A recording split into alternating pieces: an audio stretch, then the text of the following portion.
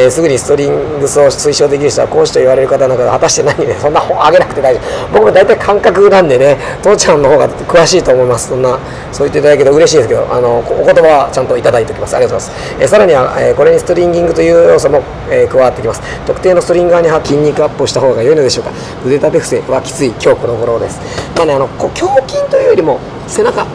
こっちを鍛えるように、え、してください。はい。あのー、前は見た目ゴンってなってても背中を鍛えないと結局引いて回ったところで結局解決にならないじゃないですか。これはまああのよく話させていただいてるなんだコーチが合う合わないと好き嫌いねこれを間違って、ね、上達のためには合う合わないのが必要だけども、ね、感情論が入って好き嫌いで判断しちゃって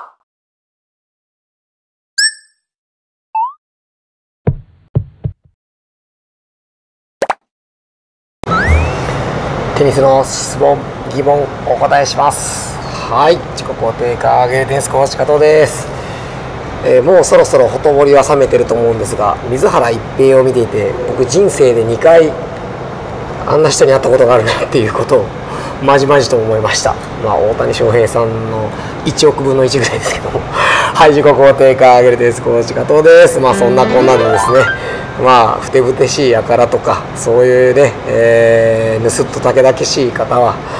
ね、えー、テニススクールのねお悩み相談、えー、で聞くような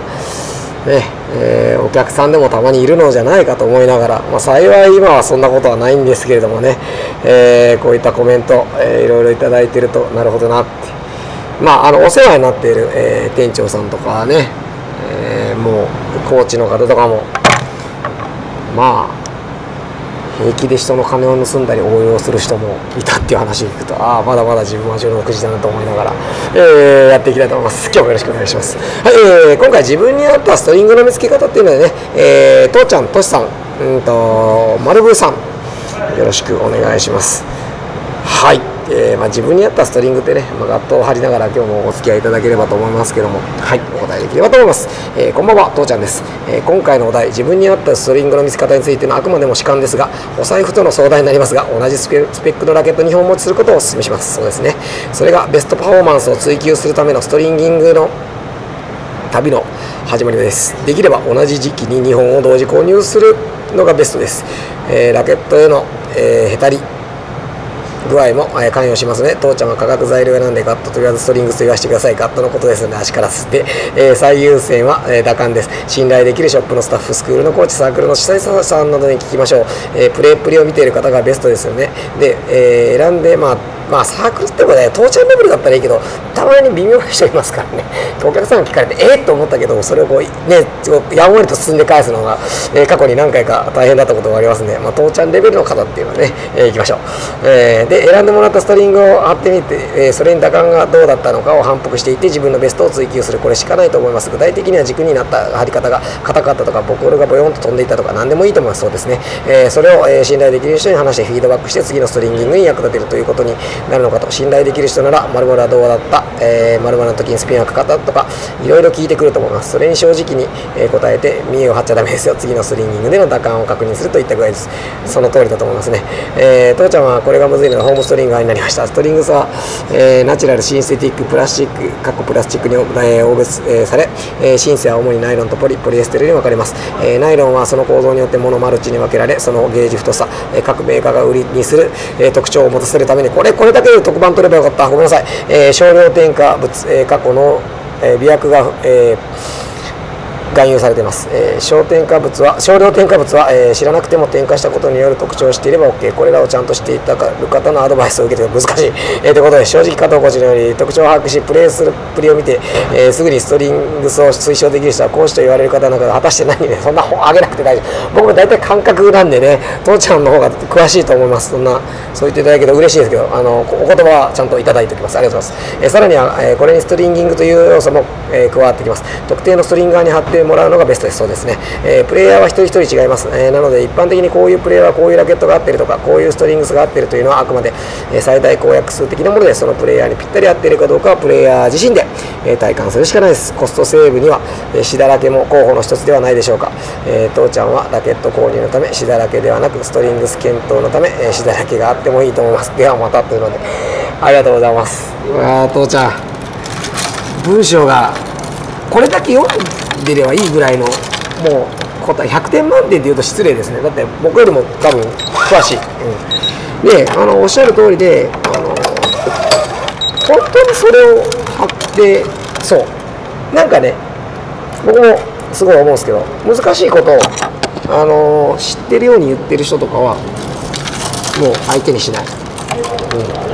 うん、まあ今はないですけどね、うん、で言われてあのなんていうのかな。うん。あのやっぱ自分に合ったかと分からなかったら分からなかったでいいんですよ。でそのボヨンとかそういう感覚。もう絶対それだけ。それ以外何でもないと思う、うん、あのなんかね回転量とか言われると、まあ、回転量があって、まあ、ちょっとスピンがかかりやすいから回転量がなんかどうのこうのとかって難しいことを言われると逆に僕はあそこまでは感じ取れないなと思うしあのー、まい人に打ってもらったりするとやっぱ感覚ですよね。その本当父ちゃんのおっしゃったように。そういう感覚がやっぱり大事に、えー、なってくると、えー、思います。だからそういうこう感覚を大事にしてであと特定の人っていうのはもちろんストリングのねあの張りのこの癖っていうのはプロでもやっぱりトップ選手はお抱えストリンガー持ってたりとか、えー、ブースでねこの人の指名とかっていうのもあったりしますからそういった意味ではやっぱプロの選手もそうしてるってことは一般レベルに考えたらやっぱね同じ人と同じ会話いろんな同じ会話とかね同じ人と会話をしていかないと、えー、ダメかなってこの人だったらいいかなっていうので、ね、いろんな、まあ、知識の提案はいくらでも僕も差し上げますしやっぱりねうん、自分に合ったラケット使ってた方が、えー、いいと思います。ちょっとだいぶ前かな、半年ぐらい前のうん動画だと思うんですけど、あの話させていただいたんですけど、結構ね、みんなナイロン全面とか、ポリ全面とか貼っている方が多くて、でも意外と切れない人多くて、で、ナイロンの場合は、やっぱり全体的にこう伸びてしまうから、どうしても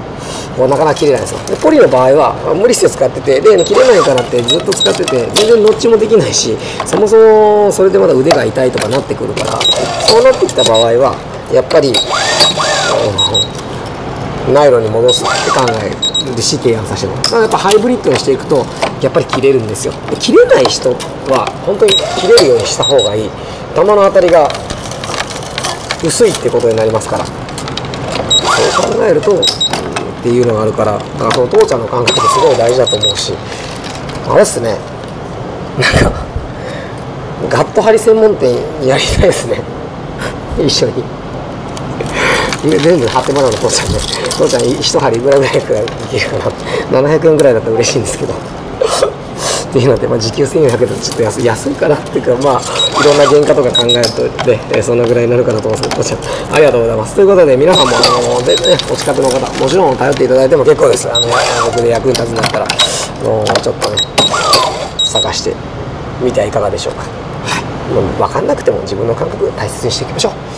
はいありがとうございますでは次ですねえー、トシさん、ガットやギアのこととは違いますが、両腕の筋肉が落ちているのですが、最近ジムにて筋肉アップをした方が良いのでしょうか？腕立て伏せはきつい、今日この頃です。まあね、あの胸筋というよりも、背中、こっちを鍛えるように、えー、してください。はい、あのー、前は見た目ゴンってなってても背中を鍛えないと結局人間でもともと4足歩行だったんですよだから生態師の観点とかねその生物数学まあとかも難しいものじゃないけどそれを起こそうとしてこっちが弱りやすいんですよ。だからだから首とかもそうなんですけども首ってもともとこうあったものだから今非常にこう不安定な状態なんです、まあ、進化の過程でね、あのー、今の状態では問題なくはなってきたんですけども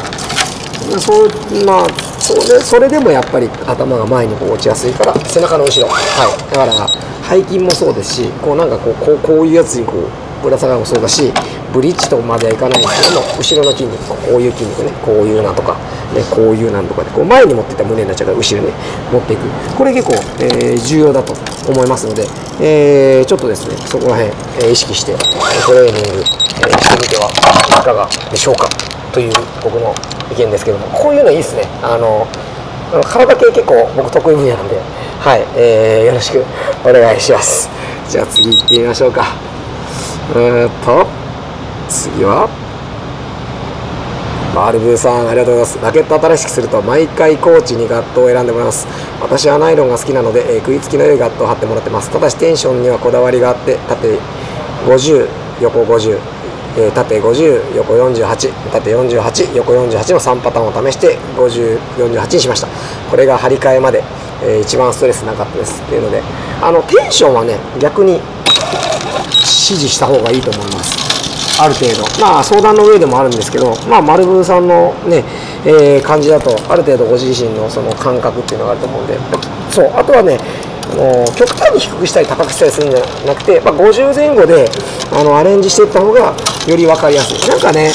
硬く張ったら上手い人みたいなのはもうちょっとそれはもうかなり昔の話で今プロの選手でもそんなガチガチに貼ってる人とかねあのナイナイロン、まあ、ナイロンはそんなにない。ナチュラルとかを60で貼ってるのでポンド数だけでポリでも60で貼るとかそのプロでもそんないないと思うんですよ、ね、一般の人って絶対ないじゃないですか。なのに60のオーダーとかが飛んできたりするとえーってなっちゃいます。はい。いろいろとちょっとずつ試すっていうね、えー、ことをしていくっていうのもぱりあの大事だと思いますし、え、上達への近道なんだなっていうのは僕は個人的には、え、とても共感できますしそのように思うので、まあ、ちょっとそこら辺をですねご自身の中でこう駆使しながらやられるっていうのはいいと思います。何でもかんでもコーチ頼みってわけではないんですけど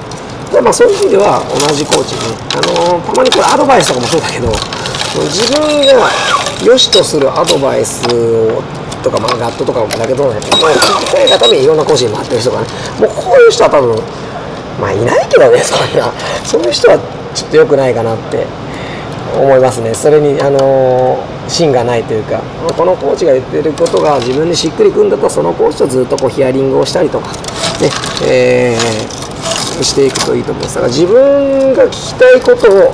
聞いて回ったところで結局解決にならないじゃないですか。これはまああのよく話しさせていただいてるなんだコーチが合う合わないと好き嫌いねこれを間違って、ね、上達のためには合う合わないのが必要だけども、ね、感情論が入って好き嫌いで判断しちゃって自分の楽な方に流れてしまう。もちろん好き嫌いが合う合わないとリンクする時もあります。ただこうそこのさじ加減っていうのは、まあ、本人次第でもあるんですけど、ね、見ていけばねいろいろと考えるところもありますしまあ常に自分自身も合うコーチ好きなコーチになりたいと思うんですけどそうなりたいと思うと、えー、やらしさが出てきます、はい、自分がこう見られたいと。なので、えー、いかに自分を表現しつつテニスを楽しんでもらうか、ねえー、テニスのメニューをきちんとやってればその楽しさは伝わると、え信じております。そういった形ですね。あのストリングの話も結構いいですね。なんかこういう話今回はあの僕の今年の中でも1、2を争うぐらいのふわっとしがちだけどもなんか実は真理をついてるかなっていう、まあ、父ちゃんのねあの文章がいいっすね本当に僕があの伝え方が下手なのを分かった上できちっと書いていただいたので本当にありがとうございますといった形でね、えー、今日はこれで終わりたいと思います。どうもありがとうございました。さよなら。バイバーイ。